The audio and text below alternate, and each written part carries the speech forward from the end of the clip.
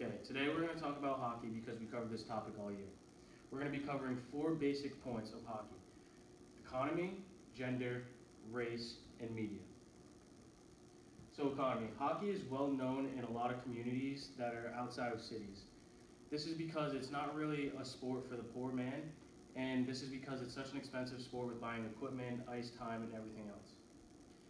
So obviously it has trouble connecting with the lower class, and they've been trying to do things recently to connect with that. However, it's just been a struggle because of how expensive everything is.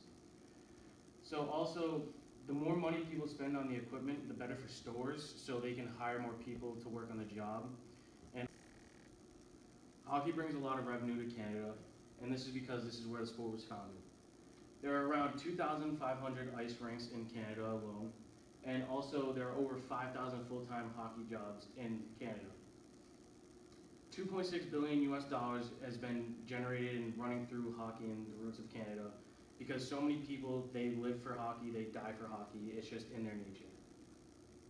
So the Hockey Hall of Fame makes roughly around 7.9 million US dollars a year, and if you think about it, that's really a lot of money for a Hall of Fame.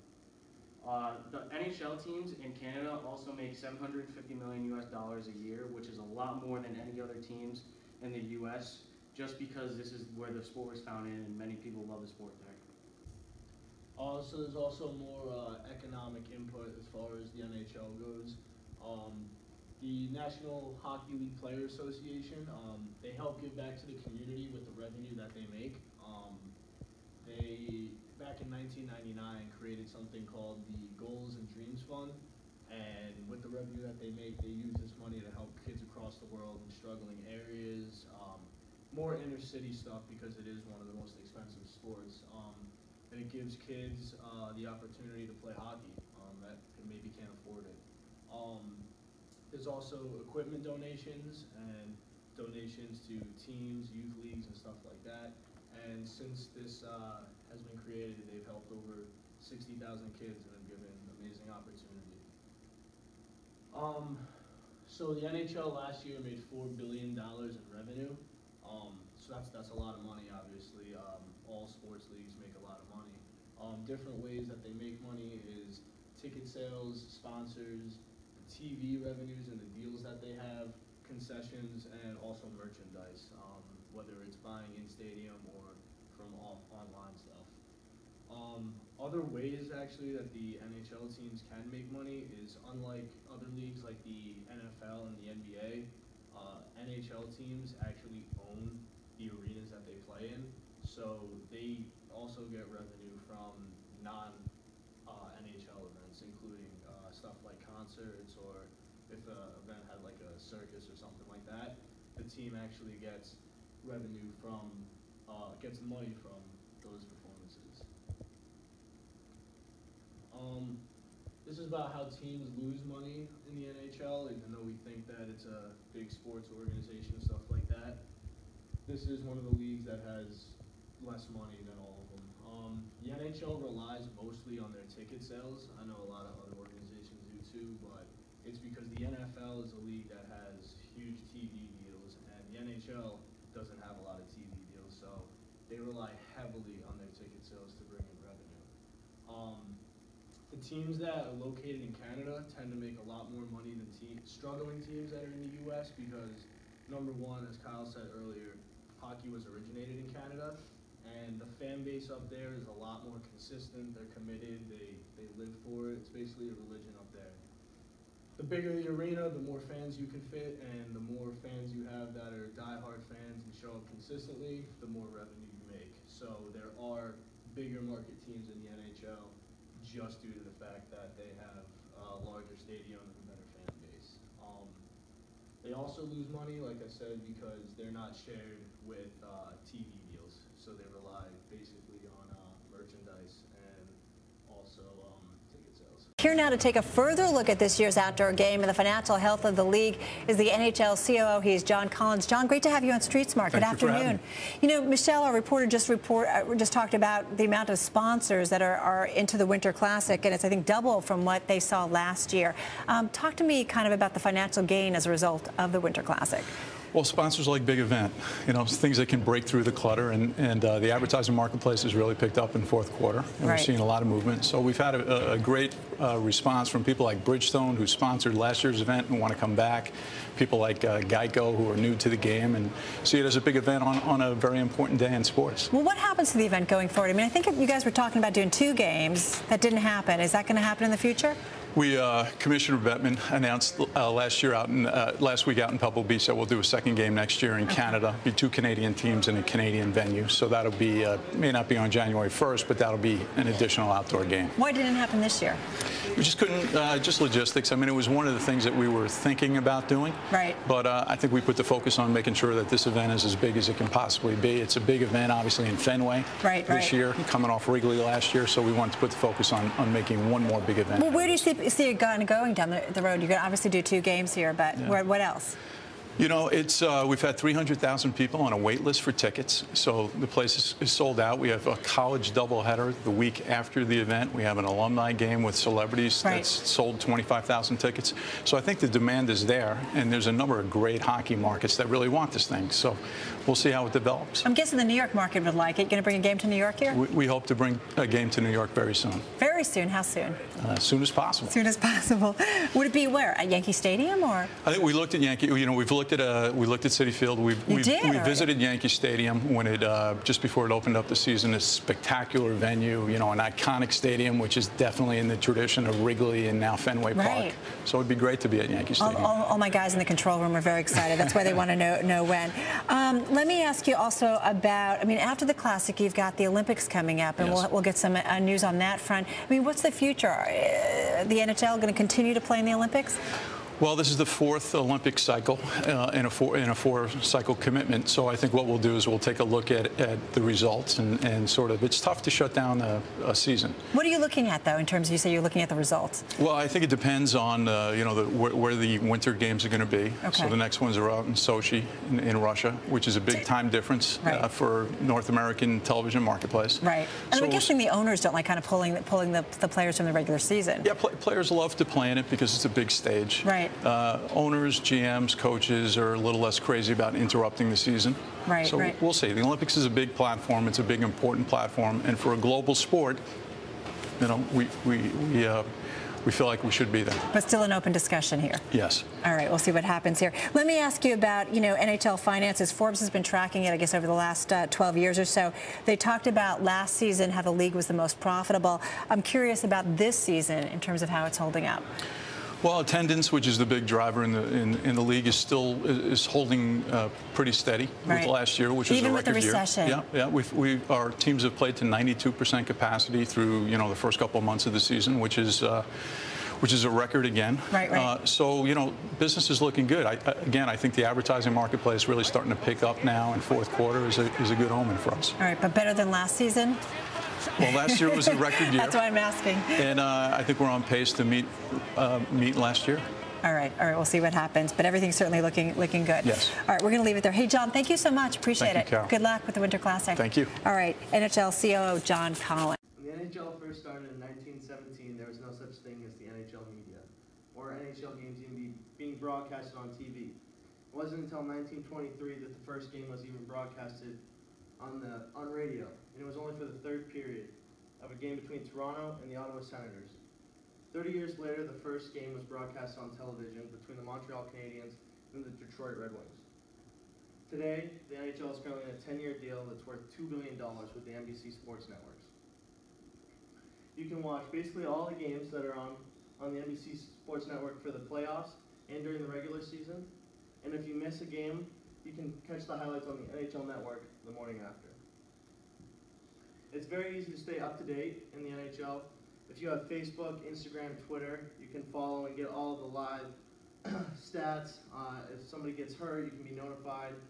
Uh, if you don't have Twitter, Instagram, or Facebook, you can download the NHL Game Center app, Bleacher Report, uh, the ESPN app, or you can even do these things that are called personal team apps, which is like if you're if you're a Boston Bruins fan, you can download the Boston Bruins app and get all notifications about their team. If you don't have an iPhone or any form of social media, you can also stay up to date with what's going on in the NHL through magazines like USA Hockey, uh, New England Hockey uh, Journal, and Hockey News. Some current events that are going on right now in the NHL. Uh, the playoffs have just started. Uh, there's the expansion draft, which now there's 30 teams in the NHL, and this coming year there's going to be a 31st team put in, which will be in Las Vegas. And there's a lot of talk about that this is a bad idea because all the gambling, and that it's going to be a failure, and it's going to look really bad on the NHL. Another thing that's being talked a lot about right now in the media is the new women's league. It was established in 2015. There's currently four teams. One's in Connecticut, one's in Boston, there's Buffalo, New York, and then in New York City. Um, they're they're talking about doing away with it, and they're also talking about expanding it. Last year there was a huge injury to a girl on the Boston Pride that uh, actually crippled her for life. Um, another big topic right now is also the NHL award finalists. Uh, in two weeks or three weeks, uh, the NHL awards start, and they're naming all their finalists. So in 1957, the color barrier was broken in the NHL by a man named Willie Eldon O'Ree. He was a left-handed wingman who played for the Boston Bruins for two years. Uh, he played for them in 1957 and then again in 1961. Most of his career was basically in uh, the WHL, which he spent 13 years. It's a Canadian league, and then he split. Uh, he had three and three with the OHL and then the EPHL. He was born in 1935 on October 15th in New Brunswick, and uh, throughout his career, he played in both obviously U.S. and Canada. And he said that in Canada they were a lot less racist towards him than in the U.S., which I thought was interesting. Another interesting fact was he was 95% blind in his right eye, so he kept that secret to be able to get a chance to play in the NHL on the Boston Bruins. So Willie was basically known as the Jackie Robinson of uh, hockey, really breaking that barrier wide open. So, all right. So the NHL has been known to be a white prominent uh, league, and that trend stays the same. Currently, it's 95% white, and the minorities only take up 5% of the NHL, and that's been the same for a few years now. Back in 2014, there was 86 minority players, and now we're down to just about 40, I think 42. Um, the NFL, uh, uh, the NHL has been no, been criticized for being racist, and it's it's kind of a tough double-bladed sword they have to deal with because of the problems with minorities not being able to get the access to hockey at, at a young age and continue it on. So obviously, white is more predominant in the NHL than black, and the reason for that is there's a lot of times there's poverty in black communities. Uh, it's uh, over time we've seen that it's about two times the poverty rate as um, the white people. So uh, that really makes it hard for black uh, families to get into hockey, especially at a young age with costs going up to about six hundred dollars for hockey. Uh, another sport we see the same type of trend is in lacrosse. It's the same price for per season, and yet again you see more whites than minorities in that sport. So you can see the correlation between the two. So, and last but not least, I mean, you need your own equipment in hockey. It's not like football or anything where you can just uh, rent stuff out. You need to have your own stuff, which means you need to buy your own stuff, which is very pricey. Now let's move on to the gender side of this hockey presentation. And uh, as you see at the top of the page, we've got rules. And males and females both have different rules to follow in order to make the game more smoother, uh, like safety-wise. And uh, so obviously, males aren't required to wear any masks. Usually you see them wearing visors that cover half of their uh, helmet. And uh, some of them don't even have uh, visors, they just have uh, their regular helmets and they can check until the refs break it up. Sometimes they just let them play. It really depends on the ref you have and the game that's being played. For females, um, all women they have to be wearing uh, full face masks just to once again like have their safety be covered. And um, girls have very different hitting uh, restrictions. If a girl hits, uh, they're going to be assessed with a penalty. It just depends on how flagrant the hit was or if it was uh, that much of an impact to the game. Division One girls hockey, uh, they had a bit, bit of a scandal where uh, they didn't like how a lot of the men uh, were refing games, officiating for their uh, their play, and they felt like they're two different kinds of uh, hockey. Obviously, men and women, they have different rules, and they feel like the women know their rules better, and they feel like they should be able to uh, ref their own games rather than having men ref uh, women and also have men ref men. So, I mean, I agree. I feel like the women should have their say and they should have their opinion because it is, in fact, their game. So I feel if, it doesn't really bother the men. I mean, the men are used to more fast-paced, uh, upbeat games as opposed to women, how they're a little bit slower and they lack uh, a bit of aggressive edge that the men do have. Let's go to uh, Canadian goalie. Um, a Canadian goalie made his debut. Uh, her name was Shannon Sa- Saba. Excuse my uh, pronunciation on this girl's last name. It's pretty uh, crazy, as you can see. So, anyways, uh, this girl has 27 out of 31 shots saved, and um, as you can see, for anyone, that's an incredible performance. But she didn't get recognized. They didn't do any uh, interviews on her, any post-game uh, stories, just because she was in fact a girl. And as we know, uh, I think Brody said earlier that race was an issue in Canada's hockey league, and they didn't want to cover uh, a female story because this was in a male league, and they wanted to keep it mostly male. I mean, I personally do not agree with this decision made by Canada, but you know how they take their hockey because that's everything they know up there. Let's go to the differences they have. Now to talk about the differences of hockey. As we know, uh, it was created in Canada with the men mostly in the beginning. And uh, as time went along, about 1930, they started to get women uh, passing with national teams, they weren't allowed to get professional teams yet because that took time. And uh, they do have a professional team for the girls. They only have four teams, like someone said earlier, and it's just not as popular as NHL or any of the other national uh, teams play because there's just not enough people interested in the, the game for the women's part. And I mean, I hate to see it, but you know, men have overpopulated uh, hockey since day one, and I mean, I don't really see too much of that changing in the